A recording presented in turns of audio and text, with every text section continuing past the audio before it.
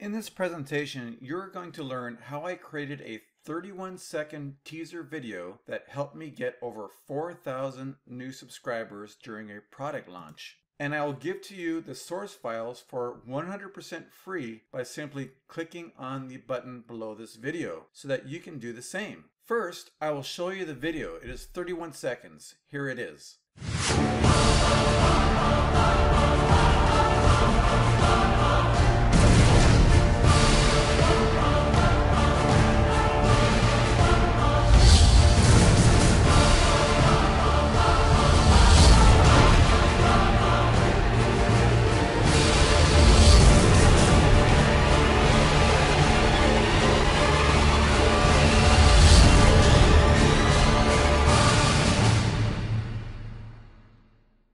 Wasn't that great? And in this demonstration video, I'm going to show you exactly how I created this effect. All you need is the source files by clicking on a link below, and you can do the same using Camtasia or another video editing software.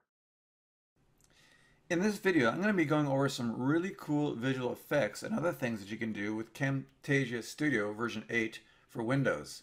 So let's get started.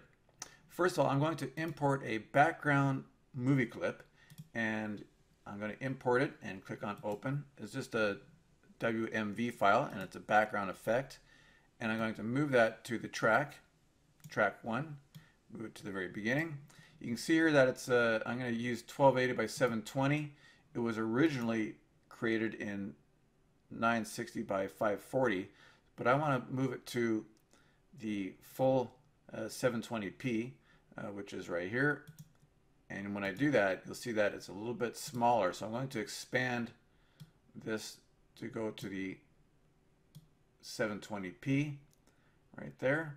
Okay. And that's the first thing that I will do. So if I play, play this video,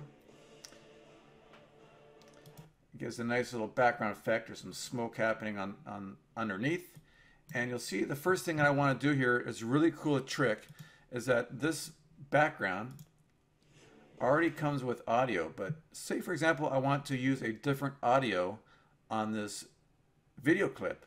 Well, with Camtasia Studio version 8, you can do that. You right click and you go, you click on separate video and audio. You see that?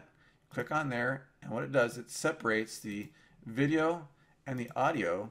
And what, right here, I can delete the audio and I can add a different audio to go with this background. So right here, it's says blank. You see that? And I can add a different audio to that.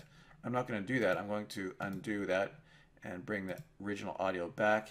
The next thing that we're going to do, we're going to do some really cool animations that's going to be text. It's going to expand and like it's coming at you. And the first thing I'm going to do, I'm going to go to callouts and I'm going to add a text callout. And it's going to add a text callout right here. And I'm going to enter the words, this is my first text and I'm going to make this white so that you can actually see it. And it's going to start off small. And you can see here that if I'm going to click make sure it's highlighted here with my mouse I'm going to click on it.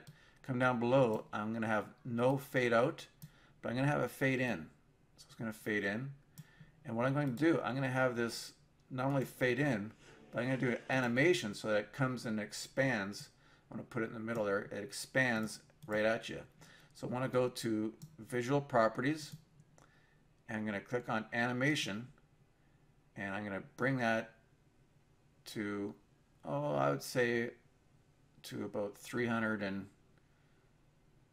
say 321. There you go, 321%. And then I'm done.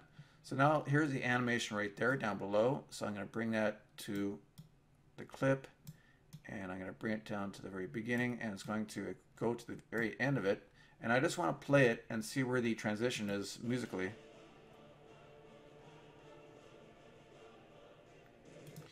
And then I'm going to add another one. See, if I listen to the music, you can add another one right here.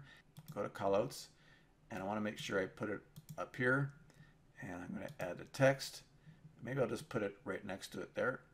And I'm going to add a fade to it. The fade is already in and I'm going to do another animation. Go to Visual Properties, Animation, and it's going to go to 321. I already know the numbers, 321. You see that? And there's the animation there. I'm going to expand it to the very end. And it's going to go to the beginning. And I'm going to change the text. Instead of this is my first text, this is my second text. All right. So now if I go to the very beginning, you'll see that it's going to play the music and it's going to shoot at you. See this? The second text coming right at you. Very cool effect. So that's exactly how you do some special effects using Camtasia Studio version 8 for Windows. Thank you.